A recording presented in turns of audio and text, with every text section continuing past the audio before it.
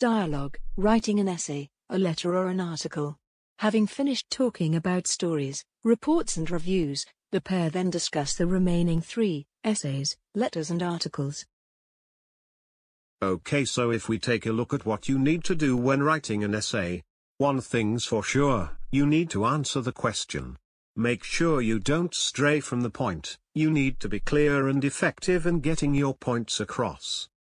As the chunks of text are likely to be bigger due to the academic basis of an essay, I would advise to separate this format into five paragraphs. Thus, in the first paragraph, you should give a general introduction to the subject in hand. Then bring all your ideas together in the concluding paragraphs, developing your arguments in the middle paragraphs in between. In essays, it is generally better to be subjective with your arguments.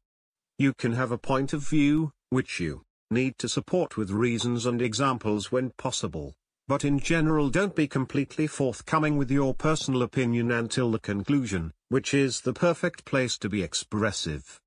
As for the grammar points of this format, I would suggest using formal language and not using contractions. Like a report, the style of the text needs to be relatively formal. For vocabulary, if I were you, I would revise expressions which can be used to express comparison and contrast, results and the proposal of examples. Okay so that is essays out of the way. Let's move on to one I hope that you're already familiar with, letters. This is the format that I'm actually comfortable with.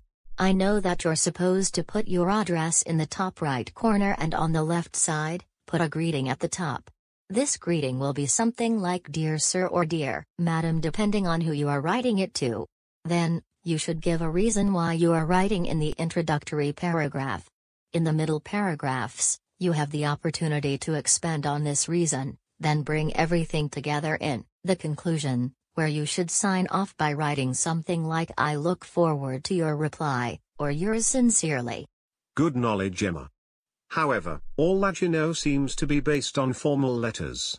I'm just going to talk to you about informal letters too so you're aware of both. You can keep the structure the same as formal letters. However, the tone needs to alter completely. The tone needs to be relaxed and talkative.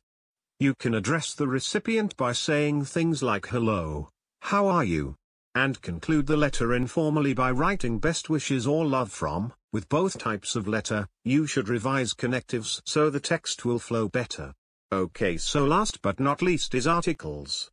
Like all formats, you should have four or five paragraphs, including an introduction which grabs the attention of the reader.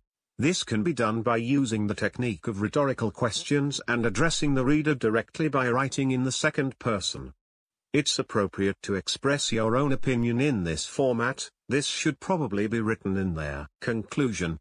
Useful vocabulary to review for this would be phrases which help to introduce new ideas, for example firstly or secondly. Okay, Emma. Everything clear? Yes, that's excellent. Thanks very much.